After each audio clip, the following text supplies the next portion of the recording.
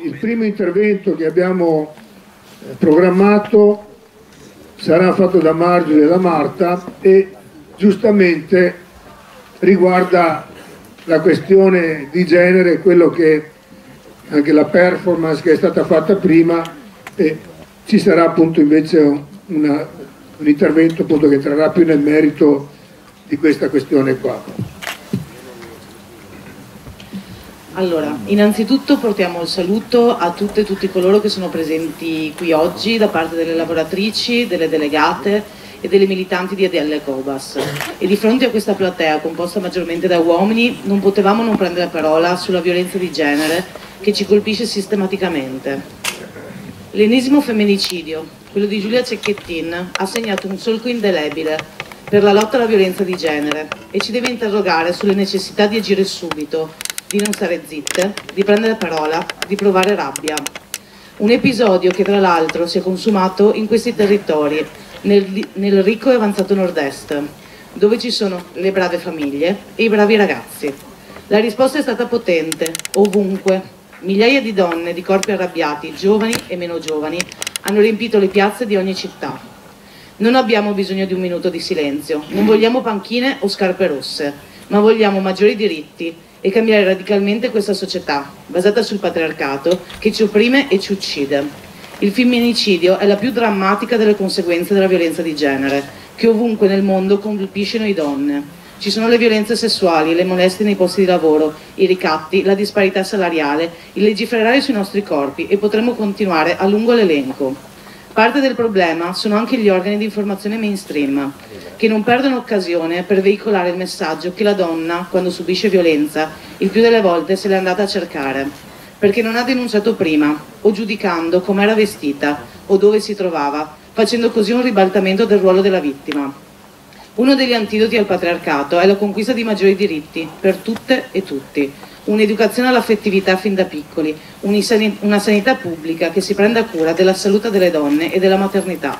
Servono consultori, centri antiviolenza, case di edilizia popolare pubblica, un welfare che funziona e pari opportunità nei luoghi di lavoro.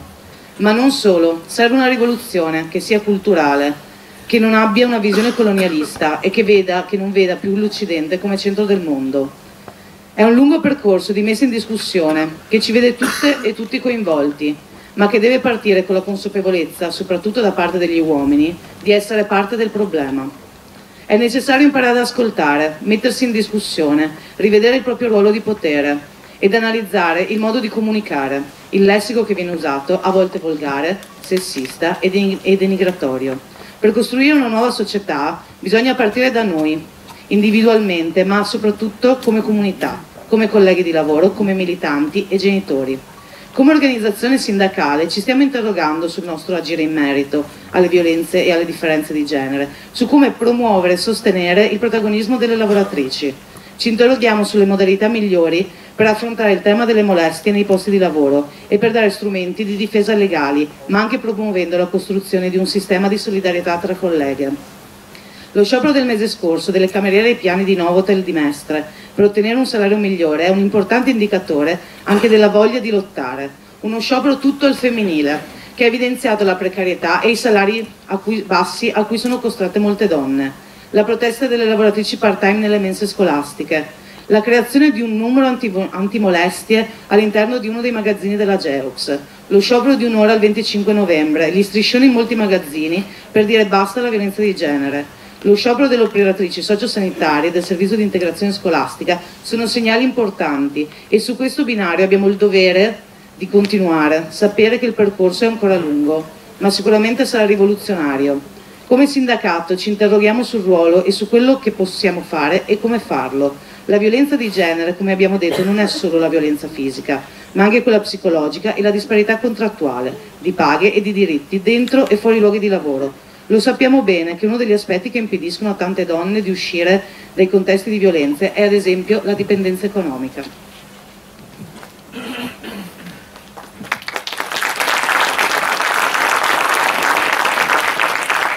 Siamo in un paese dove le donne guadagnano attorno al 15% in meno degli uomini e questa disparità salariale, che è la più alta, più alta della media europea, è dovuta al fatto che le donne siano prevalentemente impiegati in settori che hanno retribuzioni più basse e contratti più sfavorevoli e che i lavori dirigenziali e spesso con mansioni e contratti più remunerativi sono occupate prevalentemente dagli uomini. Inoltre la disparità salariale è dovuta anche al fatto che molte donne siano costrette a ricorrere ai lavori part-time. L'occupazione part-time femminile come percentuale dell'occupazione totale è del 31,5% contro l'8,4% di quella maschile. Spesso e volentieri siamo le donne a dover dimettersi a causa dell'impossibilità di, com di compatibilità tra tempo di lavoro e gestione familiare del carico del lavoro di cura domestico, orari incompatibili con quelli della scuola, a causa della quasi totale assenza di welfare, come ad esempio misure di sostegno come la maternità insufficiente, mancanza di servizi come asili nido o con costi troppo elevati e quindi inaccessibili per molti nuclei familiari.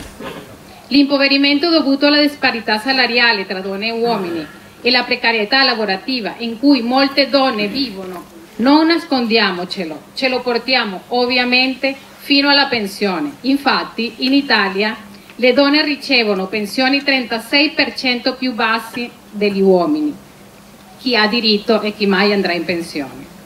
Di questo parliamo quando parliamo di lavoro femminilizzato, lavoro di cura, disparità di genere sul mondo del lavoro.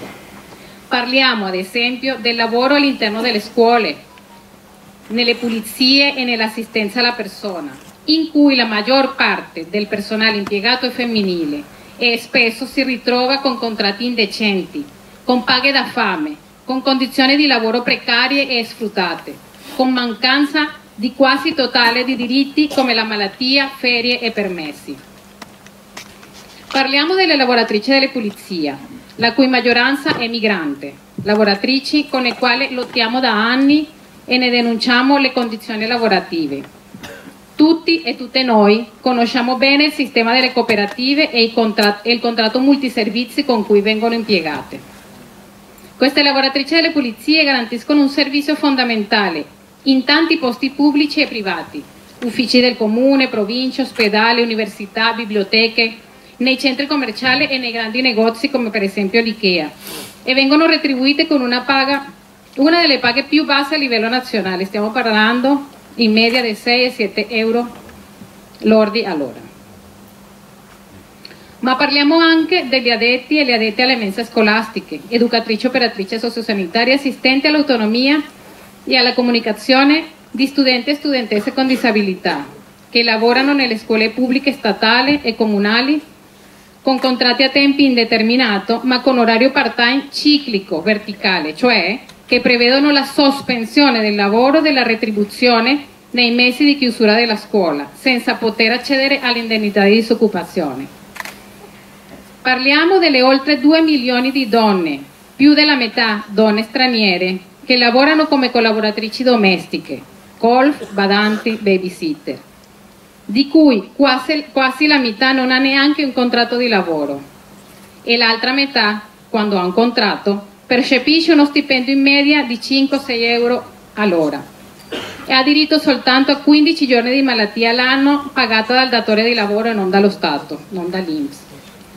Come sindacato negli ultimi anni ci stiamo impegnando a far conoscere questa realtà e a rivendicare che le, lavor le lavoratrici domestiche in Italia sono sempre più necessarie e che meritano da parte dello Stato quantomeno la garanzia di uguali diritti a quelli dei lavoratori e le lavoratrici dipendenti, facendosi ad esempio carico di pagare la malattia e a integrare i contributi per poter avere una pensione dignitosa. Le misure di sostegno alla maternità e alla paternità obbligatoria, per chi ovviamente ne ha diritto, sono di 5 mesi per la madre, mentre il padre ha diritto a solo 10 giorni, per poter passare al congedo parentale soltanto con il 30% della retribuzione base. Davanti a questo, come è possibile avere pari diritto alla genitorialità e pari carico nella gestione della cura familiare? È ovvio che questo disincentiva la donna a intraprendere o a continuare il percorso lavorativo. Tutto questo evidenzia come una donna incontra estrema difficoltà ad avere un'autonomia e una stabilità economica e di conseguenza, in caso di violenza domestica, difficilmente uscirà da questo contesto di violenza o neanche semplicemente a denunciare. E per le donne straniere questo è ancora più difficile, perché in Italia, come sappiamo, il diritto al permesso di soggiorno è legato al reddito e ai legami familiari per cui le donne immigrate spesso vivono una situazione di doppio ricatto. È necessario essere consapevoli di questa situazione, ma non solo saperlo. Per poter parlare veramente di reddito, diritti e dignità per tutti e tutte, è urgente contribuire al cambiamento radicale dentro e fuori i luoghi di lavoro. Proponiamo farlo partendo da qua, individuale e collettivamente. Grazie.